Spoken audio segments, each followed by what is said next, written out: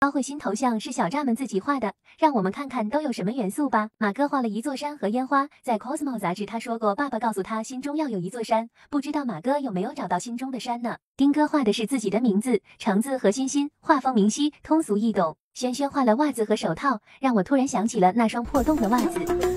啊，宝贝，你袜子哪儿？耀文画了钱和饺子，不知道今年过年还会不会给哥哥讲光头强喜欢吃什么的故事。最喜欢吃他妈妈做的什么？饺子吗？猜一下。饺子。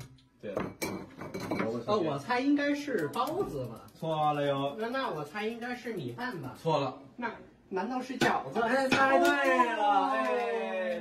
张哥画了福字和火，除了越来越火的寓意外，我还想到了他的固定才艺。呃，来，给你外公舅舅。就买一些，不要一个喷火焰。